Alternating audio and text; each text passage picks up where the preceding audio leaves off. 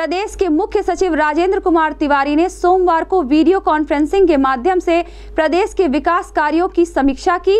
गोरखपुर के NIC hall में आयोजित वीडियो कॉन्फ्रेंसिंग में मंडलायुक्त जयंत नार्लिकर, अपर आयुक्त प्रशासन अजय कांत सैनी जिलाधिकारी के विजेंद्र पांडेयन मुख्य विकास अधिकारी इंद्रजीत सिंह, सीएमओ डॉक्टर सुधाकर पांडे सहित संबंधित अधिकारी मौजूद रहे। इस मौके पर मुख्य सचिव आर के तिवारी ने कहा कि चौरी चौरा कांड के शताब्दी वर्ष पर आयोजित होने वाले कार्यक्रम को कोविड प्रोटोकॉल के तहत मनाया जाए। और कार्यक्रम में पूरी भव्यता लाई जाए। इसके साथ वैक्सीनेशन के कार्यों को समय से पूरा किया जाए। उन्होंने कहा कि वैक्सीनेशन की अफवाहों पर लगाम लगाई जाए और उसे रोकने के लिए कड़ी कार्रवाई की जाए। इसके अलावा मुख्य सचिव आर के तिवारी ने विभिन्न योजनाओं की समीक्षा की और आवश्यक दिशा निर्देश दिए। सूची मांगी गई है। जहाँ से सूची अभी नहीं आई है, इस मीटिंग में ही आप अभी मीटिंग में ही निर्देश दे दीजिए उनको। कि ये अभी एक घंटे का सूचना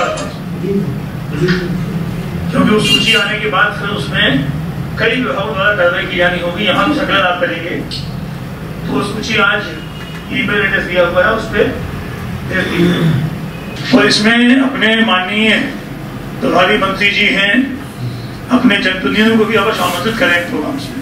ध्यान रखना पड़ेगा कि कोविड की गाइडलाइंस को भी आप फॉलो करें। और एक अपनी यूनिफॉर्म में लोग निकले बच्चे। बता दिया होगा पूरा उसमें जो देशभक्त के नारे हैं, जो भी चौदह चौदह के बारे में जानकारी लोगों को हो सके सुनिश्चित कर लिया जाए और इसके फोटोग्राफ वगैरह भी अपलोड किए जाए, इनको उन्होंने ईमेल दिया है, उसमें। चार तारीख की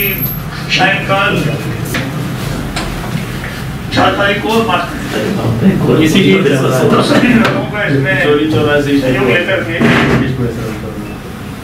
कार्रवाई की जाए सीएम साहब जब तक वगैरह जुड़े साथ हुए ये जुड़े हो जाए कुछ देर में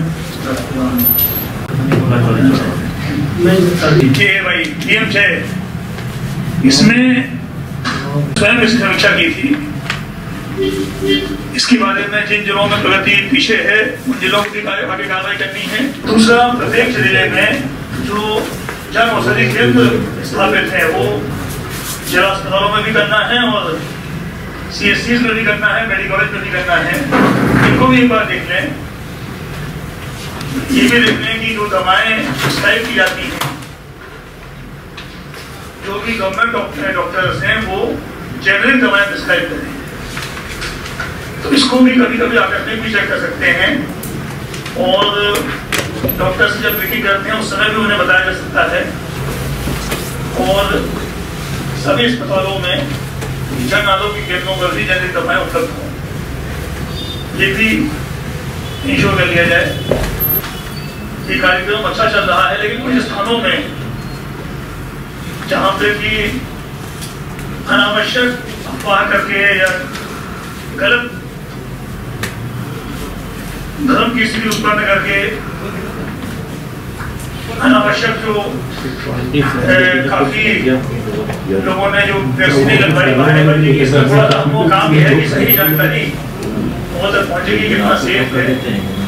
और अभी जो कोरोना ना खत्म हुआ है ना जल्दी खत्म होने की बात है तो ये जो लोग वैक्सीन ले लेंगे वो अपना बड़ा बचाव करेंगे वरना बाद में संक्रमित होकर के उनको सारे खर्च के लिए दे दिए।